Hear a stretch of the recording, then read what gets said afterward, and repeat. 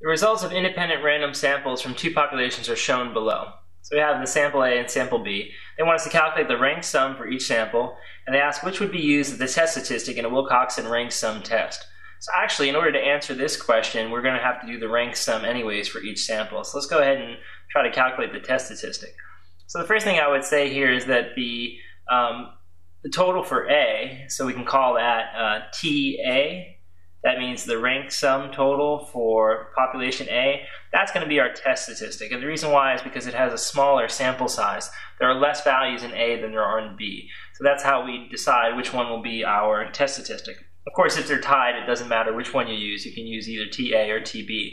But the rank total for A will be our test statistic. So let's keep that in mind. All right, let's go through and try to rank the values now. So when I look at these, I'm going to say, okay, what's the smallest number? And we're going to do the ranking as if the entire set of data, both samples, was all just one data set. Instead of being from two different places, we'll treat it as if it's all one giant data set, rank it, and then we'll go and separate them at the end and, and total the ranks for each sample separately. But the ranking process involves treating the entire set of data if it's all one big set of data. So I think there's 36 is a pretty low number. Is there any value here or here below that? I don't think so. So I'm going to give 36 rank 1. Now, let's look at the next number in the list. Anything that's, say, 40 or in the 40s. Um, we'll have a 41. Anything lower than 41? Well, there's 41.3. That's a little lower, right? I don't think I see anything lower than 41.3. So let's go ahead and call that 2. All right, let's look further then. How about anything that's, uh, well, there's something close to 41.3 2, or 0.3 is 41.5. We'll give that rank 3. Then let's see, is there any other 41s? No. How about anything like 42? Don't see it. How about 43? There's a 43.1. Is there anything else here that's like 43.1? Nope. So we'll go ahead and give that 4, a rank, total, rank of 4. Then how about anything in the 44 range? Well, there's 44 even, so we'll call that 5.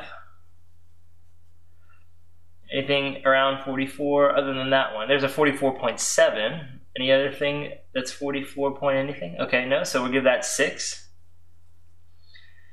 Okay, what about 45? We'll have a 45.5 there.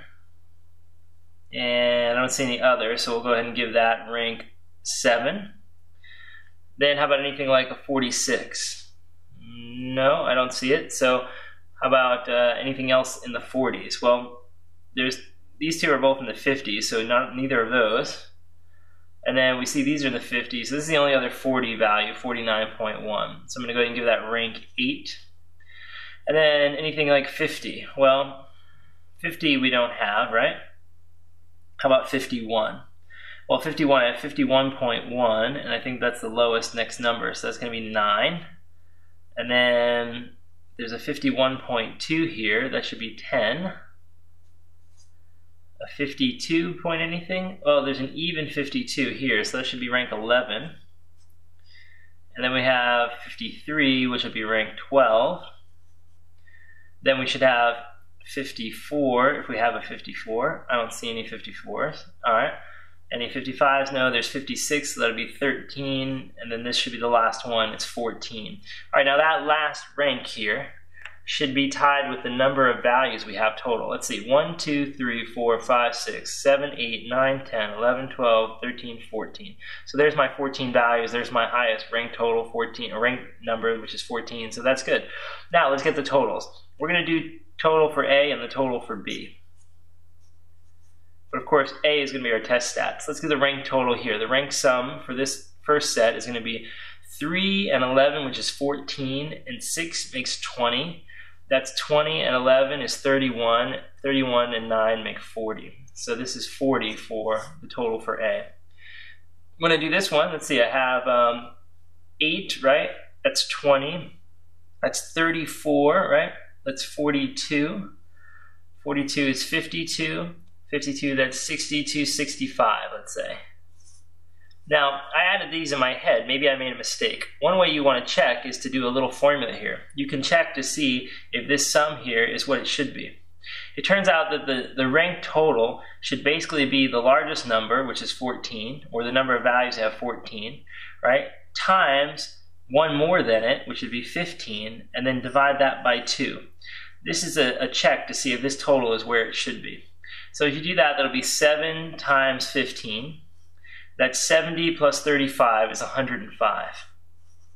And sure enough, 40 and 65 make 105. So it looks like my rank totals add up to the proper number. This number should be equal to this. And again, how did I get it? I took the largest rank, the rank, in other words, the n for the problem. So if there's uh, 14 numbers, it'll be the same as n, right?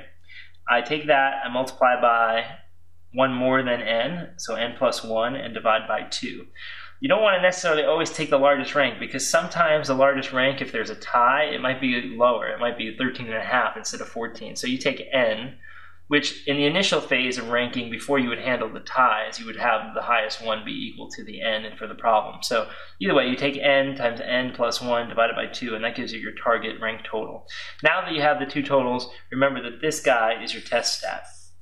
And that's your test stat because it comes from the smaller sample size, right? So we'll say that's our test statistic.